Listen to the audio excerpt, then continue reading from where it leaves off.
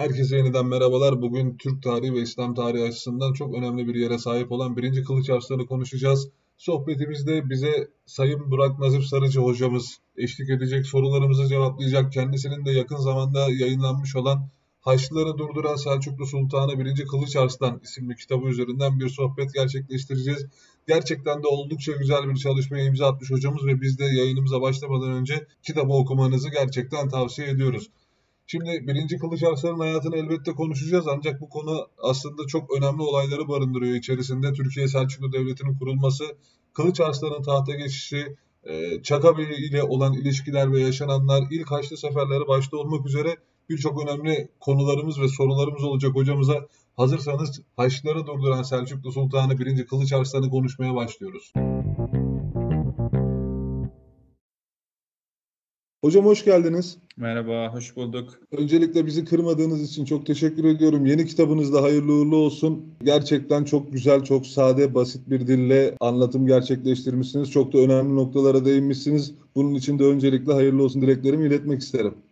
Çok teşekkür ederim. Çok sağ olun. Yani güzel bir konuydu. Ee, herkesin anlayabileceği bir tarzda yazmak da öncelikli amaçlarımızdan da umarım öyle de olmuştur.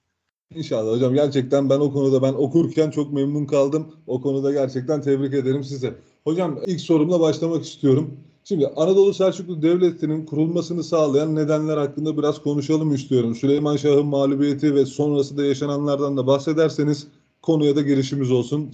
Öncelikle şöyle bir e, şey söylemek istiyorum. Şöyle bir noktaya değinmek istiyorum. Biz belki kendi literatürümüz içinde yani bunu konuşurken Anadolu Selçuklu Devleti tabirini çok kullanmıyoruz. Ee, daha ziyade Türkiye Selçuklu Türkiye Devleti Selçuklu. diyoruz. Bu ufak gibi gözükse de e, önemli bir nokta.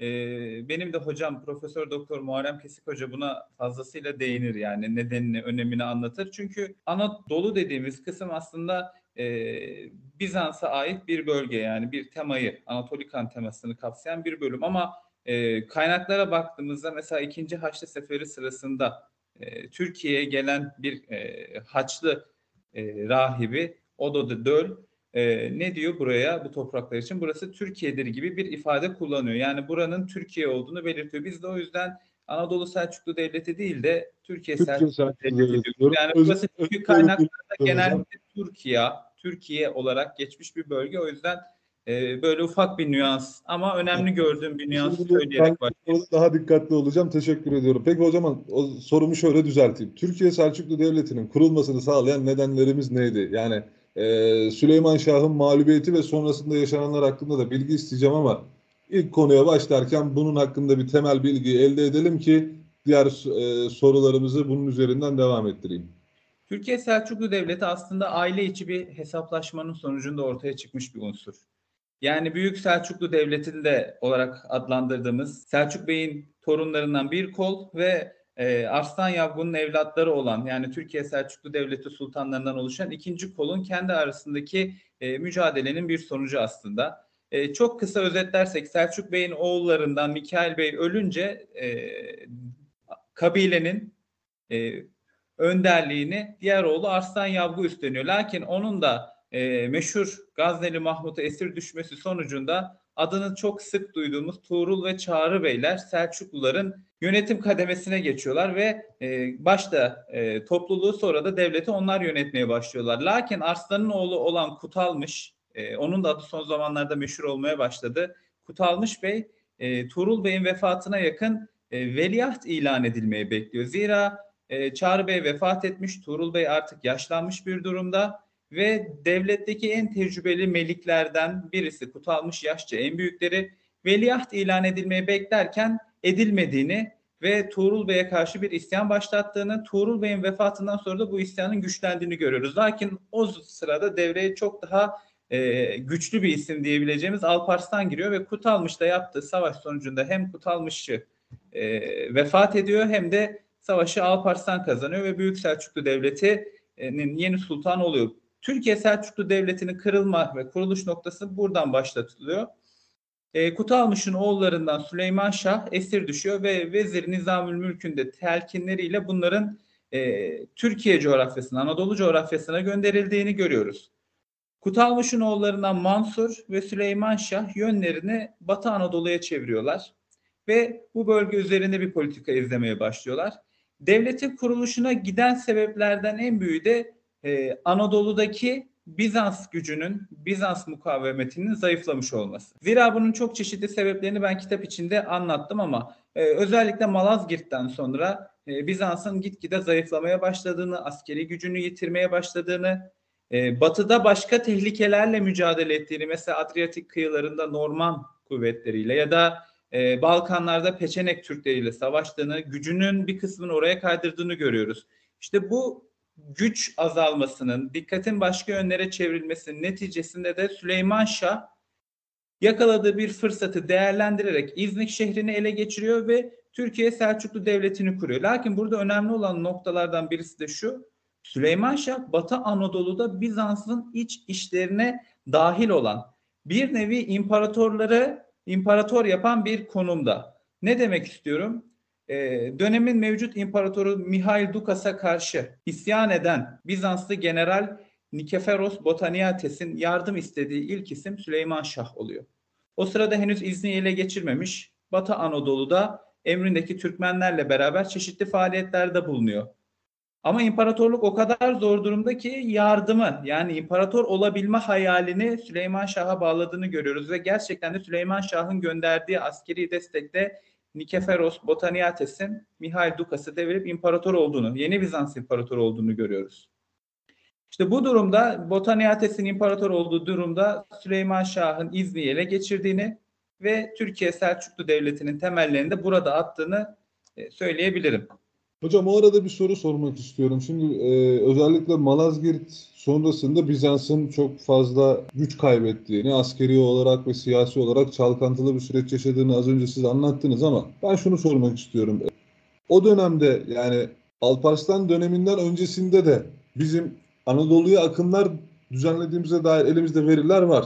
Ne kadar geriye gidiyor Selçukluların Anadolu'yla tanışmaları, işte ilk akıncıların gelmesi, yani bu coğrafya şimdi Süleyman Şah buraya geliyorsa buranın biz zaten ellerinde daha öncesinde oluşmuş hani bir 5-10 yıllık değil de belki daha fazla 30-40 yıllık bir e, bölge tecrübeleri olması gerekiyor. E, evet. Biz ne kadar öncesinde aslında 1071'den öncesinde vardık buralardan. Buraları ne zaman keşfetmeye başladık özellikle Selçuklularla birlikte? Selçukluların e, Anadolu macerasını, Anadolu'yu tanıma maceralarına bakarsak tabii ki Selçuklular özelinde tekrar ediyorum. Çağrı Bey'in e, 1016 yılında yani çok daha öncesinde Malazgirt'in belki 50 yıl kadar daha öncesinde daha Büyük Selçuklu Devleti kurulmadan önce e, beraberindeki belli bir Türkmen e, askeriyle beraber Doğu Anadolu'ya bir askeri sefer, keşif seferi düzenlediğine dair kayıtlar kaynaklara yansımış durumda. 1016-1021 yılları arasında genellikle tarihlendiriliyor bu sefer. Bu seferin doğru olup olmadığına dair çeşitli hocaların iddiaları olsa da e, dönemin kaynakları bir şekilde buna e, değinmişler.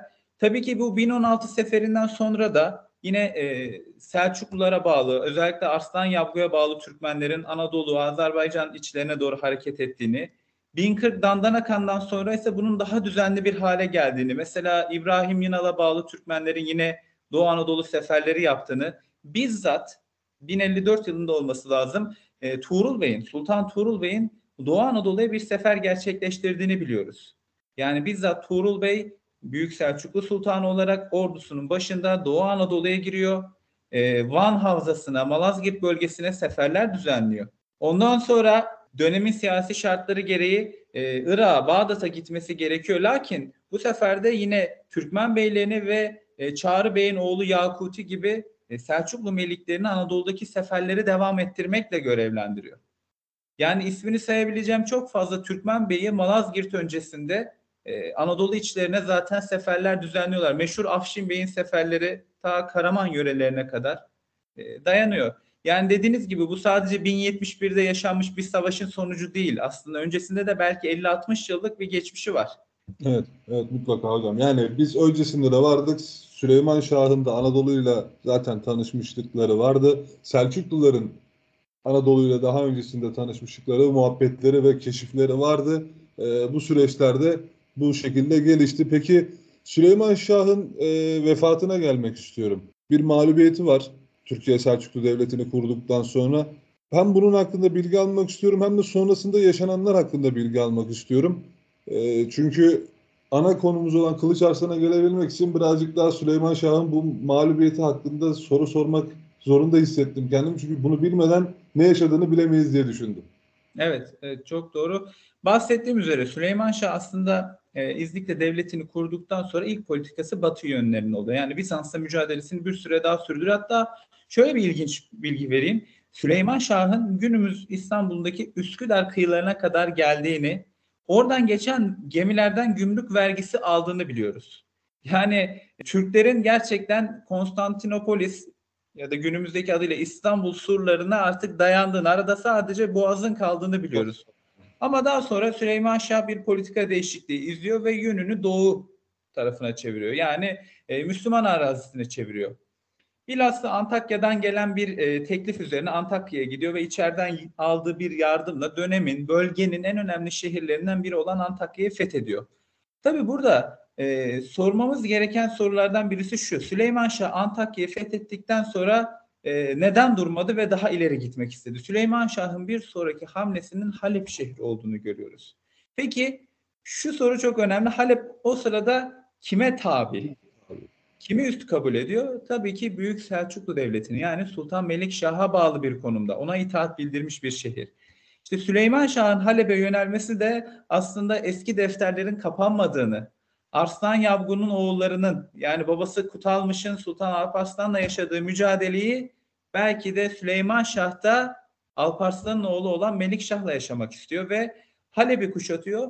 Halep'i kuşattığı esnada da Halep komutanı İbnül Huteyti'nin bir Sultan Melik Şah'a bir de onun Suriye bölgesinde bulunan kardeşi Tacud Devlet Tutuş. Ona bir mektup yolladığını ve yardım istediğini görüyoruz. Tabi Halep önemli bir şehir. Günümüzde de çok önemli. Zaten e, aktif siyaset içinde hep adını duyduğumuz bir bölge. Halep'e hakim olabilmek. Bu önem o zaman da var. Hatta belki daha fazla var. E, Halep'e hakim olabilmek çok önemli. Süleyman Şah olmaya çalışıyor ve bu mektup hem e, Sultan Melik Şah'ı harekete geçiriyor, bir sefere çıkıyor hem de tutuşu harekete geçiriyor. Tabi tutuş e, Dımaşk, Şam yani günümüzdeki adıyla Şam yörelerinde bulunduğu için Halep'e daha yakın ve e, Halep'e geliyor. Halep'i ele geçirebilmek adına geliyor ve Süleyman Şah'la karşı karşıya geliyorlar. Tabi tutuşun ordusunda Artuk Bey gibi daha önce hiçbir savaşta yenilmediğini bildiğimiz önemli bir komutan var. Önemli bir etken. Orduda onun bulunması Türkmenler için büyük bir motivasyon. Ayrıca Süleyman Şah'ın ordusundaki bazı Türkmenlerin de taraf değişip tutuşun yanına geçtiğini görüyoruz ve e, savaş maalesef Süleyman Şah'ın e, mağlubiyetiyle ve akabinde vefatıyla sonuçlanıyor. Tabi siz devamını sordunuz. E, burada belki değinilecek noktalardan birisi de bu. E, burası Kılıç Arslan'a bağlanacak yani. Devamı işin artık Kılıç Arslan'a bağlanan kısmı. Çünkü Sultan Melikşah da Halep önlerine geliyor.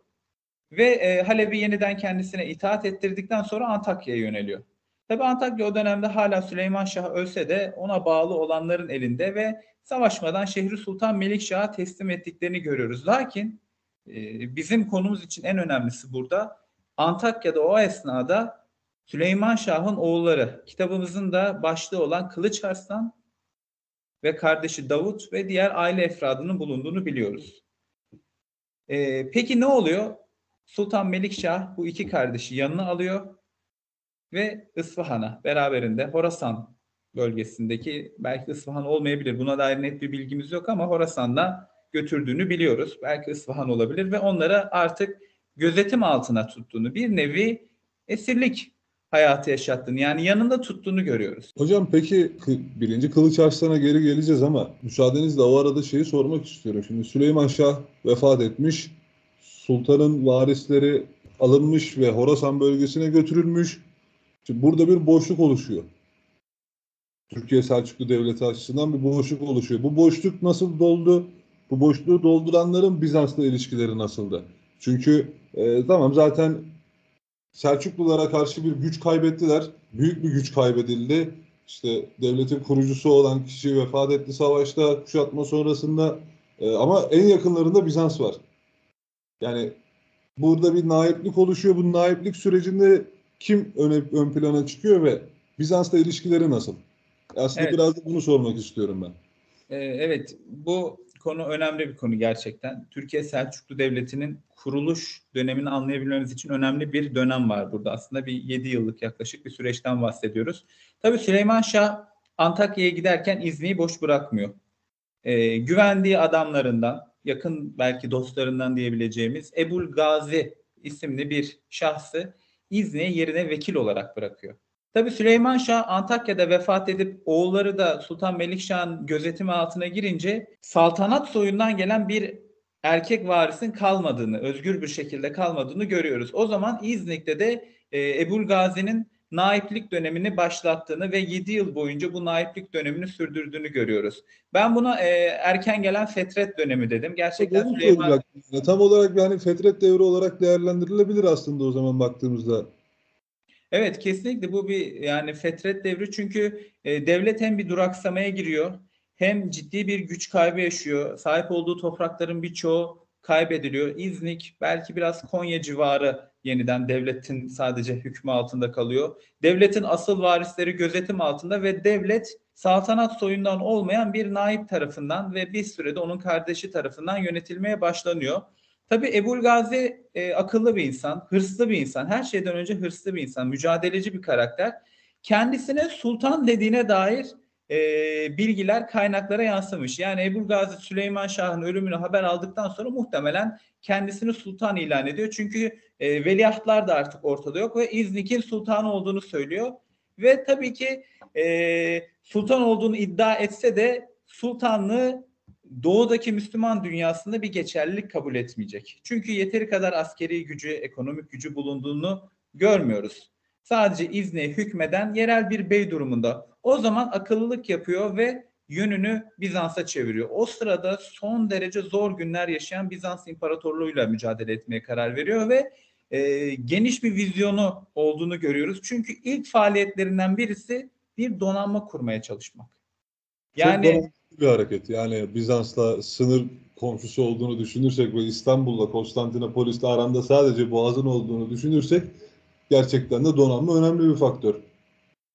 Kesinlikle. Burada tabii belki Çaka Bey'in de bir etkisi olduğunu e, ben düşünüyorum. Yani Ebul Kasım'la Çaka Bey arasında bir irtibat olduğu e, anlaşılıyor. Çaka Bey tabii donanmasıyla maruf olan bir e, komutanımız, evet. bir Türk beyi. E, Ebul Kasım'a bu konuda teşvik ettiği, des belki teknik destek verdiği e, belli bir strateji yürüttükleri düşünülebilir ama bu yine de Ebul e, Gazi'nin de büyük bir vizyon olduğu gerçeğini değiştirmiyor ve Gemlik, günümüzdeki Gemlik şehrini ele geçirip burada bir donanma inşaatına başlıyor.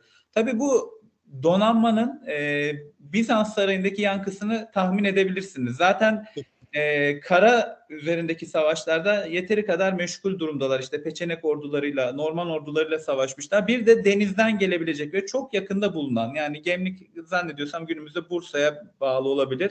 Çok evet. yakın yani birkaç saatlik işte o zamanınki şartlarıyla da belki bir günlük en fazla bir yol belki. Bu kadar yakınınızda en büyük düşmanlarınızdan biri olan Türk devleti bir donanma kuruyor ve bu tabii ki Bizans İmparatoru Alexios Komnenos kitapta adının sık sık geçtiği bir karakter. E, eldeki bütün gemilerden bir donanma hazırlatıp e, Gemli'ye yolluyor ve bir şekilde daha bu Türk gemileri suya indirilmeden e, donanmayı yaktığını ve Türklerin en azından buradan getirebilecekleri donanma tehlikesini bertaraf ettiğini görüyoruz.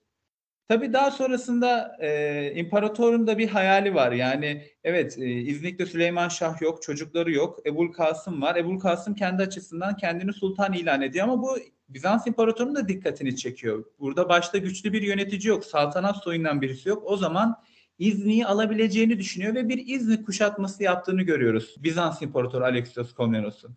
Ama ben e, kitabımda da değindim. Yani şöyle bir ifade var. O dönemin siyasi yapısı çok değişken bir gün birbiriyle savaşan kişilerin bir sonraki gün birbiriyle ittifak kurup müttefiklik e, aktettiğini görebiliyoruz. Aslında Bizanslılar İznik'i kuşatırken e, Bizans komutanına Tatikyos, o da Türk asıllı bir Bizanslıdır. Bir haber geldiğini görüyoruz. Büyük Selçuklu ordularının Sultan Melikşah'ın gönderdiği Emir Porsuk idaresindeki Büyük Selçuklu ordularının Anadolu içlerinde olduğu ve İznik'e doğru geldikleri haberi ulaşıyor Bizans komutanına. E tabi Bizans komutanı böyle güçlü, büyük bir orduyla savaşamayacağını anlayınca geri çekiliyor. Ve bu haber tabii ki Ebul Kasım'ın da kulağına gidiyor. Yani onun da bu işten haberdar olduğunu biliyoruz ve İşte az önce dediğim şey gerçekleşiyor. Baktığımızda Bizans'la Ebul Kasım savaşırken Büyük Selçuklu tehlikesinin ortaya çıkması Ebul Kasım'ı İstanbul'a götürtüyor. İstanbul'a giden Ebul Kasım'ın burada Bizans İmparatoru ile bir barış anlaşması yaptığını görüyoruz. Yani e, birbirlerine askeri destek vereceklerini bir nevi söz veriyorlar. Ve sonrasında tabii ki ilişkiler inişli çıkışlı seyredecek. Yani Büyük Selçukluların İzni kuşatması sırasında Bizans İmparatorunun Ebul Kasım'a destek gönderdiğini ve bu desteğin de gerçekten işe yaradığını göreceğiz. Yani kuruluş aşamasındaki temel ilişkileri böyle kısaca özetlemek belki yeterli olabilir. Peki hocam Ebul Kasım biraz da e, Ebul Gazi birazcık da okuyanlara merak olarak kalsın. Çünkü çok önemli faaliyetleri ve çok önemli olaylar var o dönem içerisinde. Birazcık daha Kılıç Arslan'a yaklaşmak istiyorum. Şimdi Kılıç Arslan'ın İsfahanda ya da Horasan bölgesinden de ayrılarak tahta çıktığı bir süreç var. Bu süreç hakkında ne biliyoruz? Nasıl gerçekleşiyor bu bölgeden kaçması, gönderilmesi ve tahta çıkışı? Şimdi burada aslında üç tane temel yaklaşım görüyoruz tarih kaynaklarında. Kılıç Arslan'ın Anadolu'ya nasıl geldiğine dair. Bunlardan birincisi ve bizim kabul etmediğim, benim şahsen kabul etmediğim görüş, e, özellikle de dönemin Arap kaynaklarına yansımış görüş. Sanki bu çocukları Sultan Melikşah Anadolu'ya göndermiş, serbest bırakmış ve gidin burada fetih hareketleri yapın dediği bir görüş. Biz bunu reddediyoruz. İkinci yani, ve üçüncü görüşler birbirlerine daha yakın olan görüşler. Sultan Melikşah'ın 1092 yılındaki vefatından sonra Sultan 1. Kılıç Arslan'ın ya kaçtı yani o sırada oluşan kargaşadan istifade edip ya kaçtı ya da yeni sultan adayı ve veliaht olan e, Berk Yaruk'un Kılıç Arslan'ı serbest bıraktığına dair iki tane görüş var. Bu kaynaklara yansımış görüşler. Bunların doğru olabileceğini düşünüyoruz. Bana yani, daha... daha mantıklı hocam şimdi şey açısından birinci e, ihtimale düşünürsek ikinci ve üçüncü ihtimal hem daha olağan akışa uyan bir yaklaşım. Şimdi Turan Bey, e, dönemin Arap kaynakları özellikle 11. 12. 13. yüzyıl hatta biraz daha geç kaynakların temel bir tutumu var. Türkiye Selçuklu Devleti'ni Büyük Selçuklulara bağlı bir e, yapı gibi göstermek. Yani ayrı bir devlet değil de bağlıymış gibi göstermek. Bu Süleyman Şah hadisesinde de var. Yani Süleyman Şah işte dönemin Büyük Selçuklu sultanlarının yolladığı, onların emri ve izniyle fetihler yaptığı, onlara tabiyet bildirdiği gibi iddialar hep var. Bu Kılıç Arslan için de hep var. Yani Sultan Melikşah gönderdi, onun izniyle e, sefer düzenledi. Bu e, iki sebepten kaynaklanıyor. Bir dediğim gibi bağlı görmekten, iki de coğrafyaya uzak olmaktan.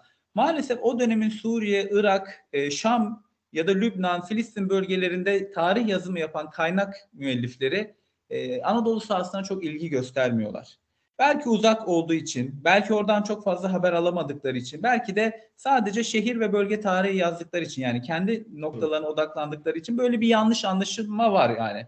Ama ben şunu kesinlikle söylüyorum. Bence Türkiye Selçuklu Devleti'nin e, bazı noktalarda görünürde böyle anlaşılsa da tam bir bağlılığından bahsetmek çok zor. E, asıl soruya gelecek olursam e, Kılıç Arslan muhtemelen e, Anna Komnena bu Bizans İmparatoru az önce bahsettiğim Alexios Komnenos'un kızı. Yani Kılıç Arslan'ın çağdaşı. Belki onun yaşadığı İznik'ten 200 kilometre uzakta yani Konstantinopol'de evet. İstanbul'da yaşamış bir isim. Aynı dönemde yaşıyorlar ve olayları çok iyi biliyor.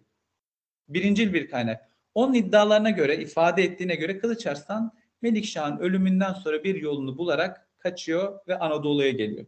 Tabii bu yolculuk kolay bir yolculuk değil. E, destek bulamıyor. Hatta yine e, başka yerlerde okuyoruz, kaynaklarda buluyoruz. E, bazı Selçuklu vezirlerine ait e, kervanlardan e, para elde ederek bir şekilde onlara baskın düzenleyip iaşesini geçindirebilecek miktarda gümüşü elde ettikten sonra yoluna devam edebildiğini, Anadolu'ya geldiğinde bir veba salgınıyla karşılaştığını görüyoruz. Yani zor bir dönem, zor şartlar, bir nevi yanında para yok, destek yok. Bu şekilde Anadolu'ya geliyor. Sadece bazı Türkmen gruplarının, Navekiye deniliyor bu Türkmen gruplarına, e, Kılıç Arslan'a destek olduğunu ve bu şekilde ancak İzni'ye ulaşabildiğini, e, zorlu bir yolculuktan sonra kaçarak geldiğini görüyoruz. Peki Kılıç Arslan'ın doğumu, yaşı e, ve çocukluğu hakkında bir bilgimiz var mı hocam?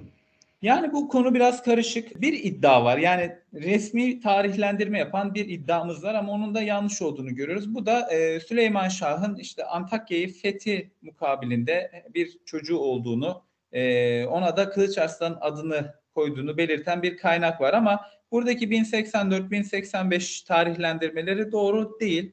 Çünkü detaylı ve farklı bir okuma yaptığımızda döneme dair e, Kılıç Arslan'ın babası tarafından veliaht ilan edildiğini yani Antakya seferinden daha önce veliaht ilan edildiğini ve çeşitli idari görevlerle vazifelendirildiğini görüyoruz. O zaman şu soru akıllara geliyor. E, bu kişi Antakya ile e, eş zamanlı dünyaya geldiyse daha öncesinde nasıl veliaht olacaktı? Evet. Şimdi Antakya ile eşleştiren bir kaynak var. Diğer söylediğim görüşte eşleştiren daha fazla ve daha tutarlı kaynaklar var. O zaman e, bu da bize Kılıç Arslan'ın Antakya'dan çok daha önce doğmuş olabileceğini düşündürtüyor. Benim şahsi tahminim kesin bir tarihlendirme yapmak maalesef mümkün değil ama en azından 1080 yılından daha önceki bir tarihte olacağı üzerine. Anladım, Bir de şu var, e, onu kitapta belki daha detaylı anlattık. E, çocukları var, onların yaşlarını biliyoruz. Oradan işte evlilik yaşı, e, hamilelik süreleri gibi böyle bir kabaca bir matematik hesap yapıldığında da yine 1080 öncesini e, buluyor ama dediğim gibi onları da e, o kısma bırakalım yani. Hocam şimdi Kılıç Arslan artık geldi, tahta aldı, tahta geçti, oturdu vesaire. Ama burada benim çok sormak istediğim bir soru var. Ben e, çok önemsiyorum aslında bu soruyu. Kılıç Arslan ile Çaka Bey arasındaki ilişkiler. Yani ikisinin nasıl bir ilişkisi var? E, bildiğimiz kadarıyla siz de bahsediyorsunuz. Çaka Bey'in kızıyla evleniyor yanlış hatırlamıyorsam. E, Kılıç Arslan. Evet. Daha sonrasında Çaka Bey'le yaşadıkları sıkıntılar Bizans'la yapılan bir birliği bir diyeyim anlaşma mı diyeyim orada bir e, mesele var. Biraz Çaka Bey üzerinden konuşabilir miyiz Kılıç Arslan'a?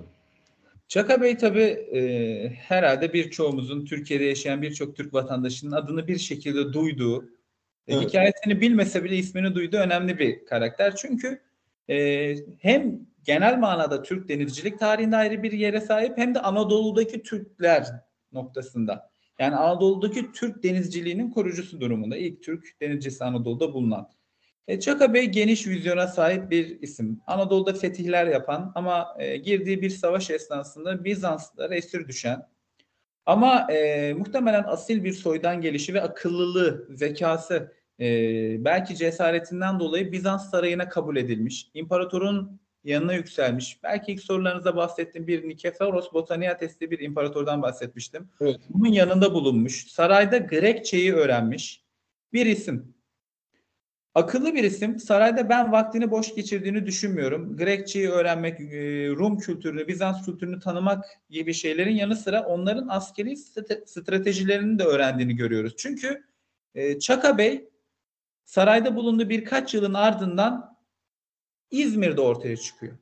Ve İzmir'de ortaya çıktığında baktığımızda bir donanma kurmakla meşgul olduğunu görüyoruz. İşte bu da bana şunu düşündürtmüştü. O zaman e, Bizans sarayında geçirdiği vakitteki Bizans'ın donanması yine e, o döneme göre diğer belki komşu devletlerden daha iyi durumda. Denizciliği, gemiyi, denizin önemini öğrenmiş olabilir. Olabilir değil hatta ben öğrendiğini iddia ediyorum çünkü yaptığı faaliyetler direkt deniz eksenli. Tabii yaptığı faaliyetler zaten sizin bu dediğinizi destekliyor. Evet. Yani e, Anadolu'daki Türk fütuhatına baktığımızda hep yani kara ordularının Anadolu içlerinde yaptığı ekseriyetle fetih hareketleri varken Çaka Bey hiç buraya yönelmiyor ve doğrudan denize iniyor. Tabii bölgedeki muhtemelen yine Rum yerli halkın da desteğiyle kurduğu donanması imparatorluk için büyük bir tehdit oluşturuyor. Bölgedeki adaları ele geçiriyor. Ve yine bahsettiği meşhur Anna'nın, imparatorun kızının e, iddiasına göre Çaka Bey'in asıl hedefi Bizans imparatoru olabilmek. Yani e, ben şunu söylüyorum. Fatih Sultan Mehmet'ten önce belki kabaca bir hesap yaparsak yani 350-400 yıl önce belki 3-4 asır önce bir Türk'ün İstanbul'u, Konstantinopolis'i ele geçirip e, oranın sahibi olabilmeyi düşünmesi bile hatta yani sadece düşünmekle de kalmıyor. Anlatacağım birazdan buna yönelik faaliyetlerde de bulunuyor. Buna e, yönelmesi bence çok büyük bir olay. Tabii ki mutlaka hocam yani bu aslında bizim eski tarihte geçmişte yaşayan e, büyüklerimizin işte beylerimizin ne kadar önemli görüşlere, düşüncelere ve fikir dünyasına sahip olduğunu kanıtlayan bir nicelik bu. Anlatıyorlar bize yani hareketleri, faaliyetleri belki başardılar, belki başaramadılar. Ama sonuçta burada bir hayal gücü var, bir arzu var, bir istek var. Bu isteği başarmaya yönelik faaliyetler var. Bu aslında Çaka Bey'in de e, ta 350-400 sene öncesinde bu faaliyetlere girişmiş olması Türk tarihinin ve Türk tarihi kişiliklerinin e, ne kadar önemli düşüncelere sahip olduğunu gösteriyor bize. Tabii ki. Çok büyük bir vizyonu var gerçekten Turan Bey. Yani vizyonu benim hani araştırdığım esnada da dikkatimi ilk çeken unsuruydu. Yani fetihleri donanma kurulmasından önce bunu hayal etmesi ve buna yönelik girişimlerde bulunması ve e, bildiğimiz bütün kariyeri boyunca sadece bu hedef için uğraşması. Yani Çaka Bey'in işte işler kötü gidince e, hadi ben işte aşağıdaki sınır bölgesi olan Denizli mesela bölgesine ineyim oradaki Türkmenlerle buluşup artık iç kesimlerde faaliyet yapayım değil de yeniden donanma kurmaya. Çaka Bey'in Bizans İmparatorluğu donanmasını yakıyor ve Çaka Bey'in sonraki hamlesi hemen yeniden bir donanma kurma çabası oluyor. Yani bu vizyon e, gerçekten çok önemli. Dediğiniz gibi bir Türk beynin bu vizyona sahip olması, İstanbul'un fethinden 4 asır önce böyle bir vizyona sahip olması çok kıymetli. Tabii onun bu faaliyetleri Bizans İmparatorluğu'nu e, açıkçası korkutuyor. Çünkü sadece gemileriyle adaları alıp kıyılara e, seferler düzenlemiyor. Daha da ileri gidiyor. Peçeneklere bir elçilik heyeti yolluyor. Peçenek Türkleri tabii Balkanlarda yaşayan bir Türk kavmi. Lakin onların e, İstanbul surlarının dışlarına, gettolarına kadar geldiğini, o gettoları yağmaladığını ve geri döndüğünü biliyoruz. Yani bütün Bizans arazisini talan eder bir durumdalar ve imparatorluk dediğim gibi çok çeşitli sebeplerden dolayı e, mücadele gücünü oldukça azaltmış bir durumda.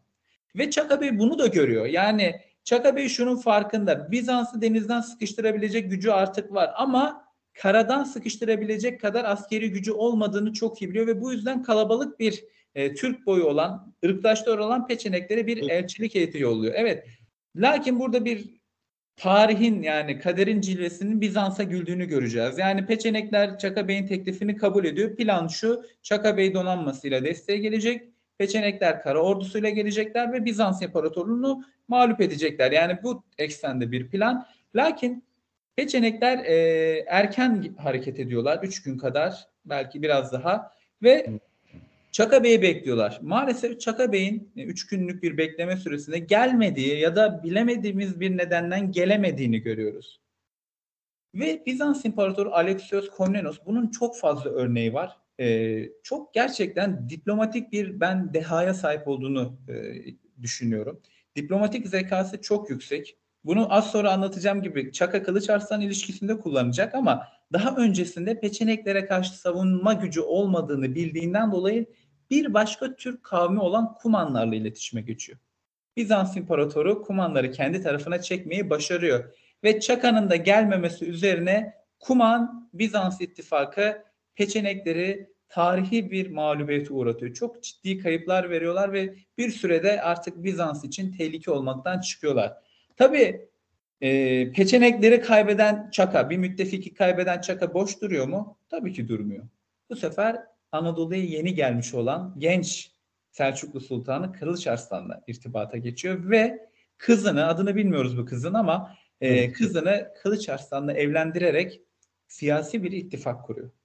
Hatta e, geçen sorularda söylemiştim. Ebul Kasım'la da zamanında bir iletişimi olmuştu ama orada da yine e, başarılı olamamıştı. Şimdi yeniden durmayıp harekete geçiyor ve Kılıç Arslan'la bir ittifak kuruyor. Tabii Kılıç Arslan'ı dediniz Çaka üzerinden okumak e, önemli gerçekten. Çünkü ikisinin de kaderi birbirine bir noktada bağlanıyor. Evet. Zira e, arada bir akrabalık ilişkisi olsa da e, siyaset daha başka bir şey. Zaten Orta Çağ'da özellikle birçok evliliklerin zaten siyaset manasıyla yapıldığını görüyoruz. Gönül bağından ziyade siyasi bağların yüksek olduğunu e, biliyoruz. Siyaset burada da devreye giriyor tabii ki. Bizans İmparatoru'nun çok akıllıca bir oyun tertip ettiğini görüyoruz. Yani Çaka'dan kurtulamıyor. Tabii ki donanmasını yakıyor ama bu sefer Çaka karadan gidip e, günümüzdeki Gelibolu yakınlarındaki bir bölgeyi kuşatıyor. Yani boğazı tutmaya çalışıyor yine. Arkadan donanma yaptırırken bir taraftan karadan hareket ediyor. Yani imparator bir şekilde mani olamıyor Çaka'ya ve bakıyor ki bu iş e, sadece savaşarak olmayacak. Nasıl peçenekleri kumanlar vasıtasıyla yok ettiyse Çaka'yı da Kılıç Arslan vasıtasıyla yok etmeye karar veriyor ve Kılıç Arslan'a çok manidar bir mektup yazıyor. Yazdığı mektubun özetle e, söyleyeyim temel e, noktası şu. İşte ey Büyük Sultan Kılıç Arslan bu çakanın hedefi ben yani Bizans İmparatorluğu gibi gözükse de o beni ele geçiremeyeceğini yani imparator olamayacağının farkında onun asıl hedefi sensin. Dikkat et ve gerekeni yap Çaka'ya karşı gibi bir e, mektubu var. Tabii Kılıç Arslan genç, saltanatının başlarında ve tecrübesiz. Henüz e, yeteri kadar tecrübeyi elde edememiş durumda ve imparatorun bu mektubuna inandığını görüyoruz. Evet. Ve e, hızla toparlanıp kayınbabası Çaka'nın yanına gidiyor.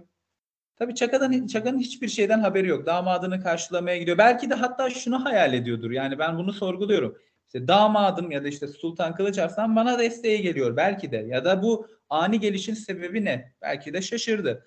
Ama hiçbir kötü niyeti olmadan e, Kılıç Arslan'ın yanına gittiğini ama Kılıç Arslan'ın tertiplenen bir ziyafet esnasında Çaka Bey'i öldürdüğünü görüyoruz ve e, buradan kazanan kim oluyor? Tabii ki de Türkler olmuyor. Türklerin bu noktada hiçbir kazancı yok. Hatta ben kaybı olduğunu düşünüyorum ilerleyen dönemlerde Haçlı Seferleri esnasında. Kazanan sadece Bizans İmparatorluğu oluyor. Nasıl peçenekler yok edildiğinde Bizans kazandıysa Çaka'da ortadan kaldırıldığında yine kazanan taraf imparator oluyor yani. Ya hocam biz şimdi kendi aramızda her zaman ya tarih acabalar üzerine konuşulmaz argümanını kullanıyoruz ya işte acabalarla konuşmayalım etmeyelim ama işte hayal dünyamız, e, düşüncelerimiz bunu e, maalesef engelleyemiyor. Şimdi mesela siz anlatırken ben bir yandan şeyi düşündüm. Çaka Bey ve Kılıç Arslan'ın birlikteliğiyle ne bileyim diğer taraftan tekrar peçeneklerin kuvvetlenmesiyle İstanbul daha erken ele geçirilebilir miydi? Düşüncesi oluşmadı değil öyle hayal dünyası işte insana bunları düşündürüyor. Belki bazı konularda biz kaybettik ama Bizans ömrünü birkaç e, yüzyıl daha uzatmış oldu diye değerlendiriyorum. Yani kesinlikle şunu demek istiyorum. Evet tarihi sadece acabalar üzerinden konuşmayı ben de doğru bulmuyorum ama e, şahsi yani kendi tecrübem noktasında bu yorumu söyleyeceğim. Bir genelleme değil ama bazen de acabalar olmadan e, çıkarımları yapmak, e, mümkün olmuyor. Bazen bazı çıkarımlar çok daha güzel fikirleri iletebiliyor. O yüzden bazen acaba demek e, bence yanlış bir şey değil. E, tabii ki olabilir miydi? Olabilirdi. Çünkü gerçekten zaten Çaka'nın hedefi bu. Daha önce de söyledim. Yani Fatih'ten 4 asır önce bu hedef vardı. Buradaki eksik işte dediğim gibi bir kara kuvvetinin oluşuydu. E, meşhur e, batılı bir tarihçi günümüzde yaşayan bir hani şöyle de bir sözü var. Diyor ki Bizans diyor Konstantinopolis diyor karadan gelebilecek her tehlikeye karşı diyor e, dönemin diyor en iyi surları ve savunma mekanizmalarıyla korunuyordu diyor. Ama Bizans halkının diyor e, denizden gelebilecek kuşatmalara karşı ayrı bir korkusu vardı diyor. O yüzden diyor işte Halic'in girişine bir zincir çekmişlerdi diyor ve o zincir onların e, kalplerini işte zihinlerini rahatlatan bir unsur gitti diyor. İşte Çaka bunu biliyor. Bunu Bizans sarayında kaldığı sürede öğrenmiş. Bizans halkının, imparatorlarının denizden gelebilecek tehlikelere bakış açısını biliyor ve çok akıllıca buraya yöneliyor. Ama karadan gelebilecek tabii ki bir destek. iki tane anlaşma yapsa da e, birisi mağlup oluyor, birisi de kendini mağlup ediyor. O yüzden Nasip, nasibi değilmiş hocam. Şimdi değilmiş. hocam e, Kılıç Arslan'ı aslında Türk tarihi ve İslam tarihi açısından düşünürsek tarihin önemli noktalarından birine yerleştiren en büyük olgulardan bir tanesi Haçlı Seferleri. Evet. Ee, yaşadığı ilk Haçlı Seferi işte 1101 Haçlı Seferi var. Ondan da kısaca bahsetmenizi rica edeceğim daha sonra ama şimdi Haçlı Seferleri başlamadan önce Avrupa ve Kudüs'teki siyasi ve politik durumlar hakkında bildiklerimiz ne? Dönemin e, özellikle papası ya da papalarının faaliyetleri hakkında ne biliyoruz? Yani aslında Haçlı Seferlerinden siz bahsediyorsunuz. Bu birazcık daha bana siyasi bir oyunmuş e, algısıyla ilk kurgulanmasından e, bahsediyorum. Muhakkak ki bu Haçlı Seferleri üzerine e, detaylı tartışılması gerekir. Başlı başına bir konu, başlı başına bir mesele kendileri ama birincisinin çıkış noktası genellikle gördüğüm kadarıyla biraz siyasi nedenler. Evet. Yani Haçlı Seferleri tabii e, hala konuşulan bir konu. Çok ilginç gerçekten. E, meşhur işte George Bush'un bir e, doğuya yapacağı ya Afganistan ya Irak Savaşı'ydı yanlış hatırlamıyorsam. İşte bu bir Haçlı Seferidir gibi bir e, konuşması vardı. Hala dillendirilir. Yani e, bu asra gelmişiz hala konuşulan bir konu. Tabii bizim noktamızdan bunun önemi bu kadar önemli bir konunun e, Müslüman dünyasındaki ilk muhatabının Kılıç Arslan olması. Evet. Bu noktada birazdan konuşuruz tabii ki daha detaylı. Bizim için önem arz ediyor. Tabii e, dediğiniz gibi öncesindeki politik siyasi şartlara baktığımızda önce e, tabii Doğu dünyasından başlamak gerek. E, Haçlı seferleri esnasında Büyük Selçuklu Devleti'nin yani esnasında demeyelim hemen arefesinde yani öncesinde Büyük Selçuklu Devleti'nin e, büyük bir sarsıntı yaşadığını görüyoruz. Önce Vezir Nizamül Mülk bir batini fedaisi tarafından öldürülüyor. Çok kısa bir süre sonra da Sultan Melikşah yine tam açıklayamadığımız bir şekilde belki zehirlenerek belki bir kazayla öl- ölüyor, vefat ediyor. Tabi devrin, devletin en büyük iki isminin ölümü Büyük Selçuklu Devleti'nde bir taht kavgası sürecini başlatıyor. E, bu aralar dizilerle de biraz meşhur oldu işte meşhur diyorum artık çünkü herkes duyuyor bana da çok soru geliyor bu konuda. Terken Hatun ile işte Berk Yaruk'un e, savaşları sonrasında devam eden bir yine savaş silsilesi var. Tabi bu Büyük Selçuklu noktasını cephesini zayıflatan bir etken. Öbür taraftan Fatimilerde de yani Mısır e, eksenli kurulmuş e, Şii inanca mensup bir devlet olan Fatimi devletinde de yine halifelerinin vefatından sonra e, bir sarsıntı olduğunu görüyoruz. Keza Türkiye Selçuklu Devleti Anadolu'da bulunan, Türkiye coğrafyasında bulunan bu devlette henüz kuruluş aşamasında olduğu için çok büyük bir güç teşkil etmiyor. Kendi bölgesinde daha henüz hakimiyet kuruyor. Yine Irak ve Suriye baktığımızda e, yerel Türkmen beylerinin birbirleriyle savaşta olduğunu, birbirleriyle e, çıkar çatışmaları içinde olduğunu, Abbasi halifelerinin artık sadece birer figür haline geldiği, yani kutsallığı ifade eden birer figür halinde olduğunu görüyoruz. En özetleyecek olursam Haçlı seferlerinin arefesinde Doğu'da İslam dünyasında bilhassa bir zayıflamışlık var. Ama Batı'ya baktığımızda ise Batı'da bu sefer çok daha büyük problemlerle, çok daha başka problemlerle meşgul. Aslında bahsettiğim siyasi bölünmüşlüğün örneklerini batıda da görüyoruz. Yani siyasi bir otoritenin varlığından çok söz edemiyoruz. İşte daha öncesinde Şarlman döneminde bir Karolinci İmparatorluğu ya da öncesinde bir Roma İmparatorluğu vardı. Avrupa'yı büyük kısmını bir çatı altında tutan. Ama bu Haçlı seferleri esnasında yok. Yani İngiltere kendi işte Normanlarla, e, Vikingler denilen işte Danimarka, Norveç'ten gelen akınlarla uğraşıyor. Fransa kendi içinde birçok şeyle uğraşıyor. Almanların kendi içlerinde mücadeleleri var. Almanların papalarla, Alman İmparatorluğu'nun papayla münasebetleri, problemleri var. Ve her şeyden de öte e, sosyal problemler çok fazla Avrupa'da. Dindirilemeyen, gerçekten dindirilemeyen bir şiddet ortamı var. Ve bu kilisenin de dikkatini çekiyor. Yani bitmeyen bir şiddet var ve kilise, Katolik kilisesi buna bir tepki olarak Tanrı barışı adını verdikleri bir sistem oluşturuyor. Yani amaç şiddeti azaltmak artık toplumda bir duraksama, bir durağanlaştırma yaşatmak. Çünkü bir tarafta şövalye sınıfı var. Yani kendi e, menfaatlerini, kendi topraklarını, kazançlarını koruyabilmek için kan dökmekten çekinmiyorlar. E, bir tarafta fakirlik var. Yol mesela, e, yol ağları gelişmemiş. Ticaret zayıf yani. Hastalıklar mevcut. artan bir nüfus var sanırım bölgede. Evet yani e, Şöyle tabii nüfus da büyümeye başlıyor. Ama bir taraftan hastalıklar var, fakirlik var. Yani bu nüfus e, büyüse de sağlıklı bir büyüme yok henüz o dönemde. Şimdi bu durumda Papa'nın tabii bazı düşünceleri var. Yani e, oluşuyor. Bu sadece Haçlı seferleri esnasındaki Papa 2. Urban. Onun değil. Onun öncesindeki Papa Gregorius'un da böyle niyetleri vardı. Yani bu fikirler böyle 1096'da oluşmadı. 1070'lere kadar dayanan bir geçmişi var batıdaki durumu doğuya, başka topraklara kanalize edebilme fikri. Tabii bu birinci Haçlı Seferi'ndeki bu oluşuma tetikleyen sebeplere baktığımızda ne diyebiliriz? E, bu çok konuşulmaz. Yani genelde şey anlatılır. E, işte doğudaki durum böyleydi. İşte batıda sıkıntılar vardı. Sosyoekonomik, toplumsal, askeri ve işte Haçlı Seferleri oluştu. Ama burada atlanan bir nokta var. E, bunu bazı hocalarımız artık e, gerçekten çok daha güzel dillendiriyorlar. E, ben de kendim çalışırken yine hocalarımızla okurken görüyorum.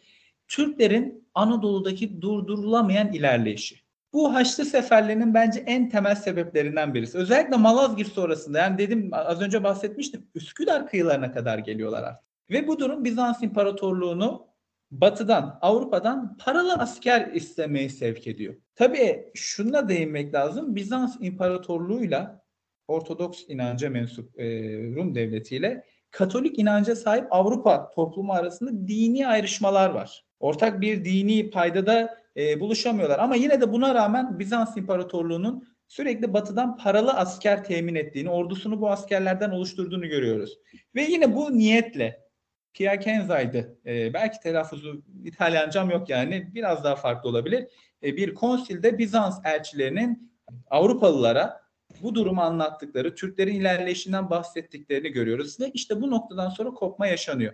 Bu Pierre aslında e, biraz sonra ben sorusunu soracaktım size. Kendisi hakkında bir soru soracaktım. Dönemin bir tarikat lideri mi diyelim bu Pierre hakkında? Yani bir... Pierre'e gelmeden e, şunu e, tamamlamak istiyorum. Yani buyurun, bu, özür dilerim. Buyurun hocam. E, Bizans'ın yardım talepleri Papa Urban'a, Papa Urbanus'a e, beklediği fırsatı sunuyor aslında. Yani Clermont e, bölgesinde gerçekleştirdiği bir vaaz esnasında Avrupa toplumunu Haçlı Seferi'ne davet ediyor. Ve buradaki temel gayesi de şu. Doğudaki din kardeşlerimizi Müslümanların, Türklerin zulümlerinden kurtarmak adlı bir sloganla bunu yapıyor. Yani temel e, başlığı bu öyle söyleyeyim. Ve bunun sonucunda belki de bek, kendisinin de beklediğinden daha fazla büyük bir etki oluşuyor ve akın akın insanlar Haçlı Seferi dediğimiz bu hareketlenmeye katılmak istiyorlar. İşte şimdi sorduğunuz soruya gelirsek Haçlı Seferi'nin ilk aşamasını oluşturan, e, ilk akını oluşturan kişi de Pierre Hermit dediğimiz münzevi bir keşiş. Kendisi Fransa'da Amiens belki bölgesinde. E, dediğim gibi telaffuzlara e, çok takılmıyorum çünkü. Pierre Hermit olarak değerlendirebiliriz. Evet, Aslında e, hakkında siz kitabınızda çok önemli bilgiler veriyorsunuz bu evet. kişinin. Kendisi e, yani vesairesi hakkında. Ben aslında onu birazcık daha kitaba bırakmak istiyorum çünkü Haçlı seferlerini anlamak için kişinin bir e, ilk Haçlı seferini değerlendirmek noktasında Pierre Hermit'e çok fazla bilgi ihtiyacı olacak. Ama ben şunu merak ediyorum. Şimdi Pierre Hermit'in Avrupa'daki faaliyetlerinden sonra Haçlı seferleri öncesindeydi. E, bir ordu toplamaya çalışıyor. Bir de ordu toplamayı başarıyor diyelim. Doğru mudur? Evet. Şimdi bu orduyla İstanbul'a doğru, Konstantinopolis'e doğru geliyor. Sonrasında da Kılıç Arslan'la bir muhabbeti var. İstanbul'a gelişi ve gelişi sonrasını biraz daha konuşalım. Diğer kısım birazcık daha e, merak uyandırsın istiyorum çünkü. Kitabınıza yönlensin arkadaşlar. Okumayı ihmal etmesinler. İstanbul'a geldikten sonrasından bahsedebilir miyiz? E, tabii bir yer dediğiniz gibi topladığı ordu belki yani şekil olarak bir ordu olsa da profesyonel askerlerden oluşmayan daha çok köylü halkın bulunduğu bir birlikte evet İstanbul'a geliyor ve Bizans İmparatoru'nun ona bir tavsiye verdiğini görüyoruz. Türklerle savaşma, arkadan gelen profesyonel orduları bekle dediğini ama tabii Pierre'in bunu dinlemediğini görüyoruz. Şöyle bir nokta var hocam. Ee, şimdi bu Pierre Hermit dediğimiz e, insan bir köylülerden ve e, insanlardan, yerel halktan bir ordu topluyor. Evet. Haçlı seferlerine destek babında bir ordu topluyor ve asıl papalık tarafından toplanan ve devletler tarafından desteklenen Haçlı ordusundan önce İstanbul'a geliyor. Evet, çok doğru. Çok doğru. Burada öncü birlik yani aslında. Öncü birlik olarak geliyor ve e, Bizans İmparatorluğu'nun kendisini orduyu bekle dediğini telkinini anlatıyordunuz. Evet, e, bunu telkinliyor lakin e, Pierre'in e, bunu uymadığını görüyoruz. Tabii bu Haçlı gelen özellikle köylü sınıf İstanbul şehrinde yağma hareketlerine girişiyor. Kiliselerin pervazlarını çal, çalıyorlar. Halkın evlerini soyuyorlar. Geçiyorum çok özür dilerim ya bu Haçlı orduları niye her geldiğinde İstanbul'u yağmalıyor? Evet yani zaten bu çok ayrı bir konu. Yani hani gerçekten bu ya çok şimdi, ayrı bir konu. Hani köylüsü yağmalıyor anladık şövalyesi geliyor şövalyesi de İstanbul'u yağmalıyor. Evet. Yani dediğim gibi bu arada bir ayrışma var. Yani hem dini olarak birbirlerine farklı bakıyorlar. Hem e, siyasi rekabet var. Yani birazdan bahsederiz. Asıl profesyonel ordular geldiğinde de gerçekten şehre saldırıyorlar bizzat yani. Ee, daha sonra da yapıyorlar. Bunu her geldiklerinde yapıyorlar. Hatta 4. Haçlı Seferi sırasında zaten meşhurdur. Evet. Artık İstanbul'u ele geçiriyorlar. Yani tamamen yağmalıyorlar ve e, 50-60 yıllık belki biraz daha fazla bir e, devlet kuruyorlar İstanbul'da yani. Bu kadar büyük bir sıkıntı var. Tabii bu Pierre'in e, etrafındaki belki çapulcu gerçekten diyebileceğimiz kişilerin yaptığı bu soygun hareketleri, zarar vermeler imparatoru artık harekete geçiriyor ve bu kişiler Anadolu yakasına taşınıyorlar.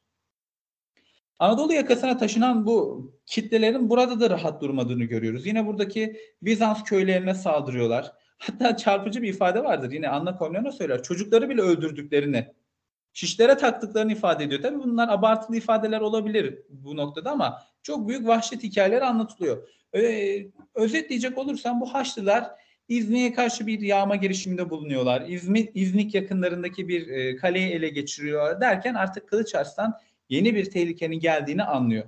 Ve e, bu Haçlı ordusunu, Pierre'in ordusunu ortadan kaldırmaya karar veriyor. E, bunları e, bir kalede, bunlardan bir kısmını bir kalede ele geçirip yok ediyor. Bu haber yani arkadaşlarının yok edildiği haberi asıl ordugaha ulaşınca e, buradaki Haçlılar, ilk Haçlılar Türklere karşı harekete geçme kararı alıyorlar. Pierre'in bu esnada İstanbul'da bulunduğunu ve imparatorla görüşme yaptığını biliyoruz. Pierre o esnada orduda değil. Tabii Pierre'in yokluğunda bazıları hareket etmeyelim dese de çoğunluk intikam hisleriyle harekete geçiyor ve Türkleri bulmak üzere yola çıkıyorlar. Ama bahsettiğim gibi bu kişiler profesyonel ordu değiller. Hareket nizamları, e, yolda yürüyüşleri, davranışları hiç profesyonelliğe sığmıyor ve tabii ki Türkler de bu fırsatı Kılıç Arslan'ın önderliğindeki Selçuklu ordusu bu fırsatı çok iyi değerlendiriyor ve Drakon suyu yakınlarında yapılan bir baskında Pierre'in ordusu tamamen bertaraf ediyor. Bir kısmı karargaha geri kaçsa da Türklerin takibatına uğruyorlar. Türkler karargaha da geliyor. Bütün Haçlı ordusunu tamamen bertaraf ediyor. Hatta daha sonra aynı bölgeden geçen Haçlı birlikleri, o bahsettiğimiz profesyonel ordular bunların cesetlerini görüyorlar. Yani tamamen orada bir imhadan bahsedebiliriz.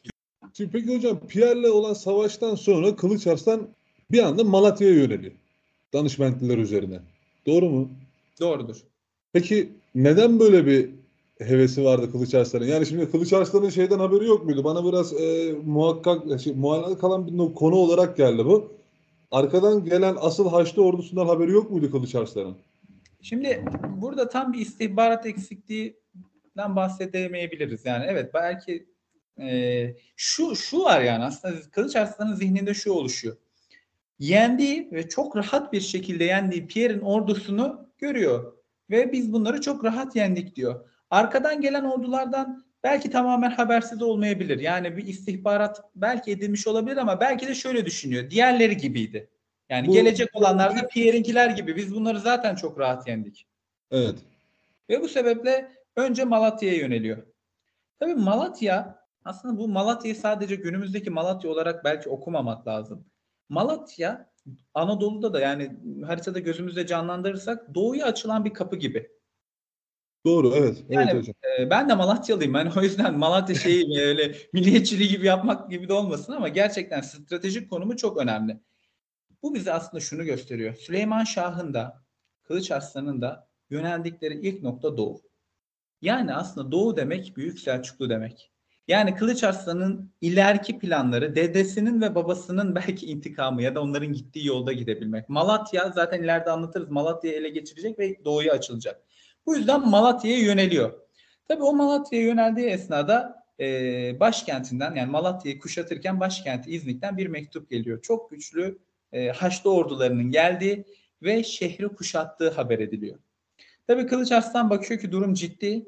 İznik'e dönmesi gerek. Malatya kuşatmasını kaldırıyor ve İznik üzerine gidiyor. Şimdi az önceki bağladığım soruyla ilgili bir şey söyleyeceğim. Hani dediniz ya neden yöneldi yani orduların geldiğini bilmiyor muydu? İşte şunu görüyoruz. E, Malatya'dan kalkıp tekrar İznik'e dönerken şehrine bir mektup yolluyor ve şunu söylüyor. İşte Pierre'i kastederek Pierre ve adamlarını nasıl bir günde yok ettiğimizi hatırlamıyor musunuz? Yani korkmayın. Bunları da öyle yok edeceğiz diyor ve hatta İznik önlerinde savaşan öncü Selçuklu birlik, birliğindeki askerlerinin cebinden ipler, zincirler çıkıyor. Bu ne demek? Kendilerinden o kadar eminler ki Haçlıları yok edecekler, yenecekler ve onları o iplerle esir edecekler. Bir özgüven. Evet Pierre'den o kadar özgüvenle hareket ediyorlar. Yani Pierre'den kaynaklanan bir özgüven mevcut evet. orduların içinde. Peki peki e, o arada bir şey soracağım. İzni o ara Haçlılar kuşattı. Asıl Haçlı ordusu kuşattı ve Kılıç Arslan geri dönüşe geçtiğinde danışmentlilerin ile birlikte hareket ettiği söylenir. Doğru mudur? Yani e, birinci Haçlı Seferi esnasında İznik önlerindeki danışmentli varlığı ya da işte ikinci savaş Eskişehir olaylarında olacak birinci Haçlı Seferi için konuşuyorum. Evet. Kesin olarak e, ispatı kolay bir durum olmasa da buna düşünmemize yönelten fikirler bizi fazlasıyla var. Yani Haçlı seferleri, birinci Haçlı seferi 1101 yılındaki üç farklı Haçlı ordusuyla yapılan savaşlar esnasında genellikle e, Danişmentlilerle Türkiye Selçuklularının kol kola olduğunu görüyoruz. Zaten e, Türkiye Selçukluları ile Danişmentliler arasında bir akrabalık e, bağı var. Yani Süleyman Şah'la Danişment Gazi'nin dağı yeğen ilişkisine sahip olduğuna dair kaynak bilgileri var. Ve muhtemelen İznik önlerinde bilemiyorum ama e, yani bunu söylemek biraz zor belki. Yani kesin bir şey diyemeyebiliriz ama Dorleon'da Eskişehir'de yapılan ikinci savaşta ben Danişmentli kuvvetlerinin orada olduğuna inanıyorum. İznik önlerinde varlığını bildiğimiz bir kişi onu biliyoruz var orada. E, Sultan'ın kardeşi olan Davut Kulan Arslan abisine Sultan 1. Kılıç Arslan'a yardıma geliyor. Ama şu var bu Davut Kulan Arslan'ın ordusunda ordusunun komutanı olarak hareket eden e, Hasan Bey var. Bu Hasan Bey de az önce konuştuğumuz Ebul Gazi olduğunu düşünüyorum ben. Ve Ebul Gazi dediğimiz kişi de bir Danişmentli ailesi mensubu. Yani e, doğrudan ordu bilemiyoruz İznik önlerinde ama bir dolaylı yoldan da olsa Danişmentlilere ait onlara bağlı kişilerin orada var olduğunu bir görüyoruz. bağlantı olabil, evet. olabilme ihtimali kuvvetli hocam. Haçlı seferlerini de sakladık. Şimdi e, Haçlı seferlerinin sonrasına biraz gelmek istiyorum. Fazla da vaktinizi aldım. Biraz da hızlanmak istiyorum. O yüzden Haçlı seferlerinin sonrasında Bizans'ın bir Batı Anadolu seferi var. Batı Anadolu'ya doğru bir sefer düzenliyorlar. İzmir düşüyor. Ee, daha sonrasında Afyon'un bugün Bolvedin ilçesine kadar falan geliyorlar. Oralarda Polibot'unda bir savaş yapıyorlar bildiğim kadarıyla. Bizans o boşluktan mı yararlandı? Bu... Tabii ki. Yani Bizans'ın zaten gayesi hani Haçlı Seferi'nden en büyük karı, zararları da var. Haçlılarla yaşadığı sıkıntılar var ama en büyük karı birinci Haçlı Seferi esnasında Batı Anadolu'yu yeniden ele geçiriyor. Tabii Çaka Bey vefat etmiş. İzmir şehrinde onun varisleri var. İznik kaybedilirken Kılıç Arslan'ın eşi Çaka'nın da kızı olan Hatun esir edilmiş. Onu İzmir önlerine götürüyor. Şehir halkına göstertiyor. E, tabii şehir halkı da şunu düşünüyor. Yani üstümüz olan bağlı bulunduğumuz Türkiye Selçukluları başkentini kaybetmiş. Onlar bile geri çekilmiş. Çaka Bey vefat etmiş. Kızı ellerinde esir. Ve şehri tabii ki savaşmadan teslim ediyorlar açıkçası. Ama hocam çok büyük e, katliamlara sebebiyet veriyor Bizans ordusu diye biliyorum. Doğru mu?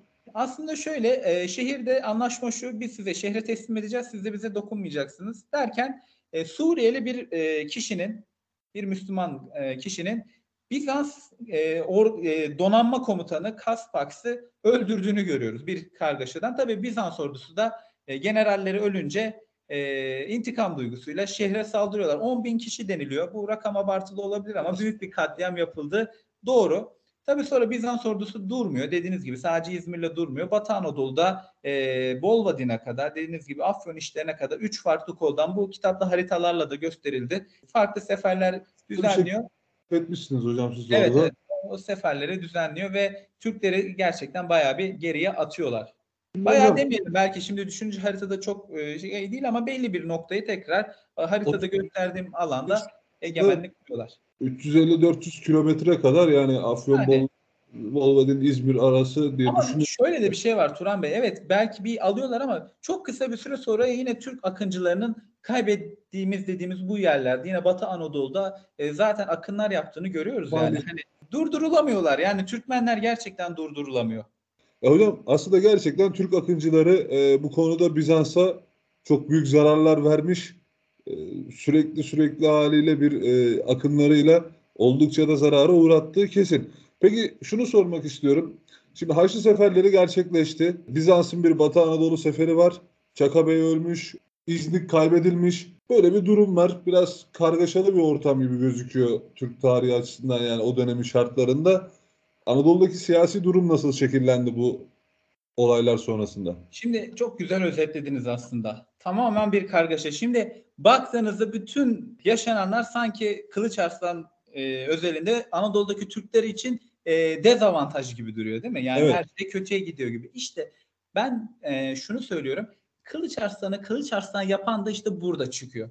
Her şey bu kadar kötüye giderken Kılıç Arslan'ın bir sonraki durumuna baktığımızda tamamen zıt bir halde yükselişe geçtiğini görüyoruz.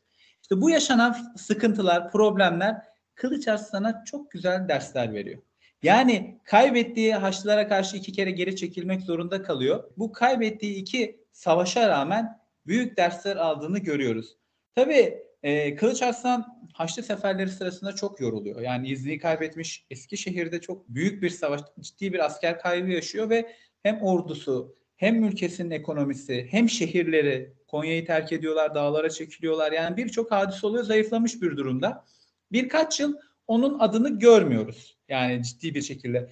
Anadolu'daki siyasi durumda yükselen yeni bir güç var. Kılıç Arslan'ın zayıfladığı bir dönemde daha az kayıp vermiş Danişment Gazi bu sefer yükselişe geçiyor ve Malatya'yı kuşatıyor. Danişment Gazi'nin Malatya'ya karşı seferler düzenlen, düzenlediğini, e, meşhur Haçlı lideri, çok meşhurdur bu dönem için, Bohemund'u, Norman Bohemund'u esir ettiğini, Haçlılara karşı zaferler kazandığını görüyoruz.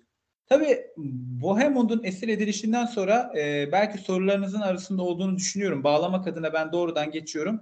E, yeni bir Haçlı seferi planlanıyor Avrupa'da. 1101 evet. yıl Haçlı seferleri diyor. Haçlı e, yılı Haçlı seferleri zaten sorularım içerisinde vardı. Devam edebiliriz. Hani, Gerçekten tam yerinde oldu. Bağlaşıklığı açısından. Tabii 1101 yılında neden bir daha tekrar Haçlı Seferi düzenleniyor? Bunun çeşitli sebepleri var. Birincisi e, şimdi burada bana kitapta da benim kitabımın başta Haçlıları durduran Selçuklu Sultanı. Evet. Belki şu düşünülebilir. Kılıç Arslan birinci Haçlı Seferi esnasında iki kere geri çekilmek zorunda kalıyor. Neden durdurdu bu başlığı koydunuz diye. Evet geri çekiliyor ama e, düşmanlığı o kadar büyük zaaflar, o kadar büyük kayıplar, zayiatlar yaşatıyor ki gerçekten Anadolu'ya girdiğinde yüz binlerle ifade edilen Haçlı ordularının Anadolu'dan çıktıktan sonra çok daha azaldığını sayıca görüyoruz. Yani kitapta anlatıyorum öyle ciddi savaş anlatımları var ki Haçlı müellifleri orayı görmüş, o savaşta yaşamış kişiler. E tabi Kudüs'e ulaştıklarında ise güçleri iyice zayıflamış. Çok az bir orduları kalmış durumda Haçlıların ve Haçlıların artık batıdan gelecek güçlere ihtiyacı var. Bu birinci sebep. İkincisi Danişment Gazi'nin Bohemundu esir etmesi. Bir başka sebep. Derken 1101 yılında 3 farklı Haçlı ordusunun sayıları yine yüz binlerle ifade edilen ardı ardına Anadolu'ya girdiğini görüyoruz. Bunlardan birincisi Lombard, İtalya'dan gelen Lombardlara ait olan ordu günümüzdeki Merzifon sıkıntılıydı sanırım hocam. Yanlış mı hatırlıyorum sizin? Lombardlar mıydı sıkıntılı olan? Biraz haylazlıkları var sanırım. Evet evet tabii ki e, İstanbul onlar da İstanbul'a saldırıyorlar. Hatta e, yanlış hatırlamıyorsam imparatorun böyle cins hayvanlarını falan saldırıyorlar. Yani leopardı belki yanlış hatırlamıyorsam hayvan. Böyle ilginç hareketleri var. E bunlar da tabii birinci Haçlı Seferi'ne katılmamışlar. Devam ediyorlar. Bunlar Anadolu'da da biraz yaramazlık yapma, e, Anadolu'nun işlerine doğru devam ettikçe devam ediyorlar diye hatırlıyorum ama. Yani e, bunlar tabii ilginç e, kişiler. Yani mesela Türkler tabii bunları takibata uğratıyor. Yani bu ordu ilerlerken Türk ordusunun da bunları adeta bir hayalet gibi peşlerinden gittiğini, onların önündeki yollara tuzaklar kurduğunu, kuyuların, suların, akarsuların sularını zehirlediklerini, ben şöyle diyorum 1101 yılı e, Haçlı seferleri esnasında Anadolu bir ateş tarlasıydı. Çünkü bütün tarlaları yakıyorlar bu adamlar yemesin diye. Düşmanın geçtiği bütün yerdeki ormanları yakıyorlar. Bir düşman yani bu sefere katılmış Eke Hardus Van Aura diye bir e, müellifin doğrudan katılmasa da çağdaş yani bir şeyi var. Diyor ki Düşman burayı çok iyi biliyordu, biz bilmiyorduk diyor. Bizi ormanların içine çekiyorlardı, ormanları ateşe veriyorlardı diyor. Yani bütün bir Anadolu'yu yaktıkları bir dönem Türklerin savunmak için.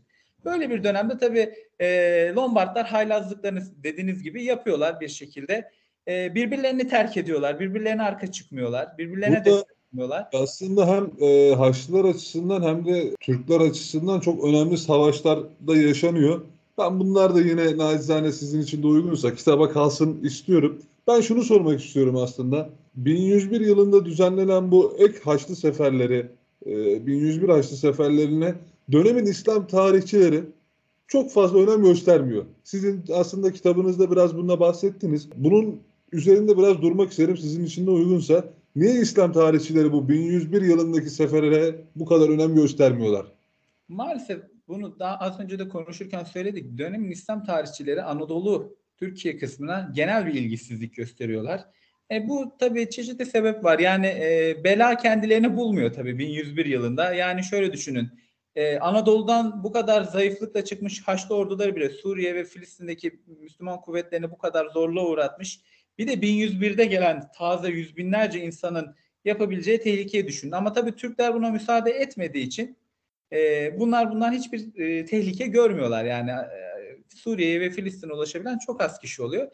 Tabii bela kendilerini bulmayınca bence çok ilgide göstermiyorlar. Yani böyle destansı bir olayı, böyle kahramanlıklarla dolu bir olayı biz ekseriyetle Haçlı müelliflerinden öğreniyoruz yani. Evet. Bizim kahramanlığımız ya da orada Türk ordusunun cesaretini anlatan kişiler Müslüman müellifler değil de bizzat düşman olmuş olan Haçlı kuvvetleri.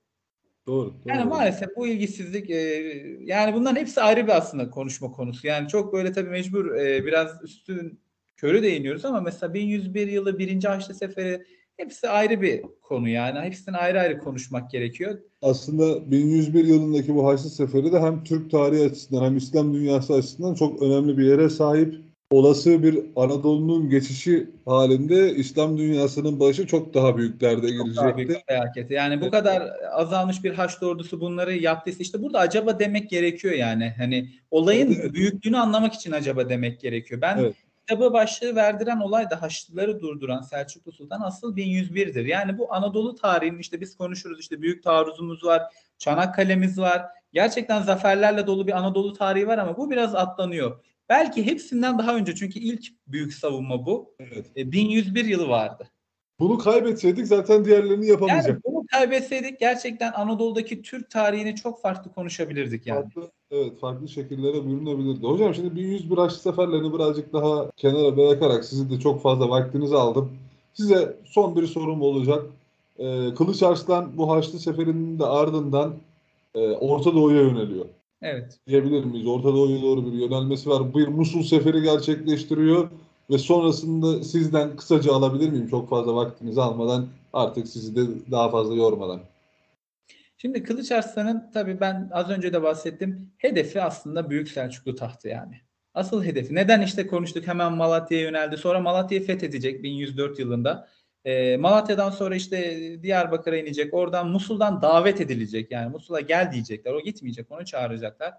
Gittikten sonra tabii Musul'da bir şey yapıyor yani. Bu çok önemli. Artık bu savaş ilanıdır. Musul'daki hutbeyi, Cuma hutbesini Sultan Muhammed Tapar yani Büyük Selçuklu Sultan adına okutulan hutbeyi kendi adına çevirtiyor. Hutbe demek sadece o dönemde dini işte biz cuma namazlarında görürüz bir e, imamın okuduğu bir şeyden öte bir şey.